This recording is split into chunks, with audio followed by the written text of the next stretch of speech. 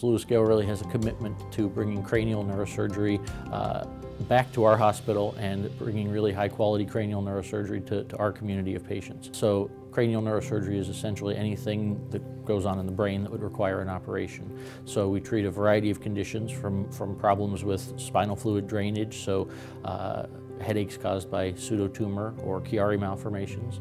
Uh, we treat vascular problems of the brain with blood vessels and, blood vessel disorders of the brain. We work with our radiation oncologists and with our medical oncologists. We work with the technical folks in the operating room to be able to be sure that we can do the right things.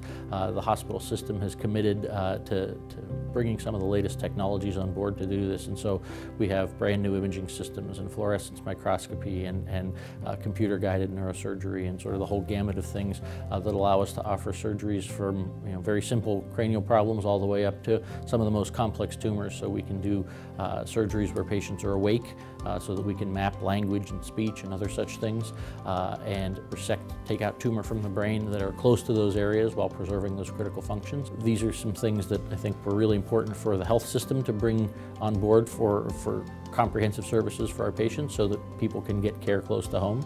That's an important part of our mission too, you know, is to make sure that patients don't have to leave the area, leave the system to go get good care. So I think I can pretty confidently say that for the vast majority of things in the brain or spine spectrum, uh, we can comfortably treat those here. Part of growing our neurosurgery program and bringing the right people and the right technology on board has been being able to do those kind of things and keep that care close to home.